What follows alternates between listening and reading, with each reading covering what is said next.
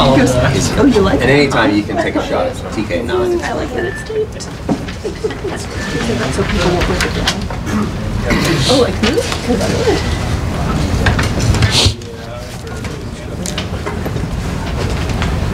Questions for Obo?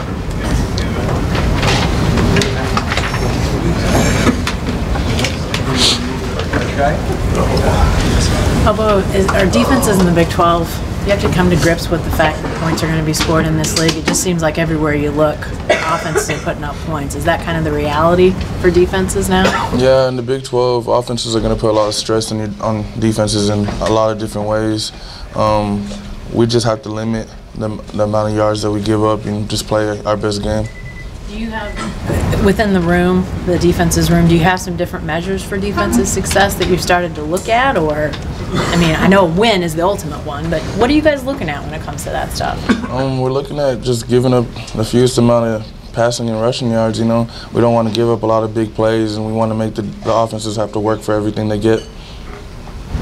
You guys have a lot of young players now on the defensive side of the ball, just with the injuries that you've had. How does that kind of change uh, what you can do on the field and how you guys have to communicate? Um, it doesn't change much. Uh, the young guys came in on Saturday and they were ready. They they were prepared. We they they communicated as well as the starters did.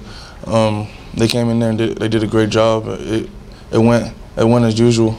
Do you guys do you have to settle them down at all if, if they miss a play or, or if they get confused at all? Is there any of that happening? I mean, well, I feel like that that that happens like even with me still. You know, like when, when you know when there's frustration out there, it's always cool to have your teammate just you know come up to you and say it's okay, next play, next play. You know. Is it tough to avoid an emotional letdown after a game like Saturday? You said, is it tough? Yeah. To be fired up once again when there was so much at stake last Saturday going against Texas? Oh, I don't. I don't think it's tough at all. We we always come ready to play. We love we love what we do. and We love being around each other. We love playing for each other. So so we're just we're just as ready as we were last week, uh, that, uh, as we will be next week. Did he mention to you guys yet about the fact that K-State's come in here and won the last two times they've played here? Um, we definitely respect K State's program. They're they're a really good, smart, well coached football team. Um, but we're just gonna prepare for them like we do every other team. Uh, what do you remember uh, about between losing to Texas last year and beating Kansas State 55-9 last year? What do you remember about that week, that week of preparation? Or I know there was that crazy trip to the airport uh, on uh, whatever it was Friday, I guess. Um, I remember we, we practiced really well. We we we respected uh, Coach Snyder. He, he he's a really good coach. Um, so we we tried to like be very detailed in our practice. Um, the, it was a good win for us. Uh, they're, but they're a good team. What do you remember about the airport incident? uh, I remember. Uh, uh, I, don't, I don't know if Tiff watches this, but there was a, a lot of junk food. And that's bad? Um, I, it wasn't bad for me. What was your junk food of choice? Um, I, I had some some Chick Fil A, some Burger King, had some chicken tenders from I, I forgot where, but I, and, a, and a little pizza too. I had a little bit of everything.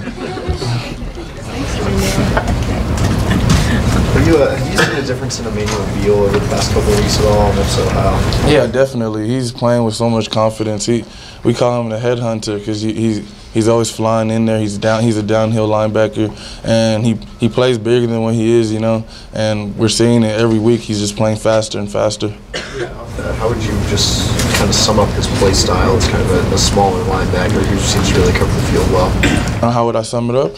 Um, it's just he's a headhunter.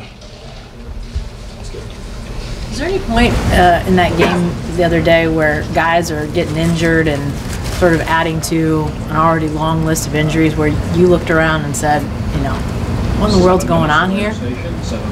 Um, yeah, the injuries are. Well, I- I'm just really, I'm really like just sad for the people who can't play, you know, because like I know how much it means to them. But uh, we we're gonna go in with, who we have, you know. We're we, we're we're, we're at OU, you know. Our, our saying is we're too deep, so the next it's the next man up. You guys have had a lot of concussions this year. Does it feel like an abnormal amount at this point? Is it, how, how are you guys kind of handling that? Oh, I mean, we don't think of it as abnormal. Abnormal. We know it comes with the game of football. You know, it's a physical game. Um, we know it's unfortunate, and I'm really, I'm really sorry that that happened to a lot of the guys. You know, but I'm just hoping for speedy recovery for them. Have you had a concussion before? Like before, ever? Yeah. Oh yeah, I've had one. That was like three years ago. What was it, what was your experience with it? Did you know immediately that? Yeah, I knew immediately when I when I had a concussion. What were some of your symptoms? Uh, sensitivity to light. My head was hurting a little bit, but that was, that was my freshman year when I got here. And how long did it take you to recover from that? It took me about two weeks. Emmanuel, real quick, was there one thing you did to get that nickname, or kind of how did it first come up? Um, he did, he did a lot to get the nickname. I mean, I practiced like like if you if you watch one of our practices, he's flying around, he's coming, he's he's really thumping people in the hole. You know, he's not scared of anything. He plays like he's 240 pounds. Like he just he's not afraid of anything. He's always coming to come like kill something. Do you remember who, who first gave him the nickname or anything like that? Um, so it just stuck. Anything else for Obo? Thanks, Obo. Good job, Bobo. Thanks. Right.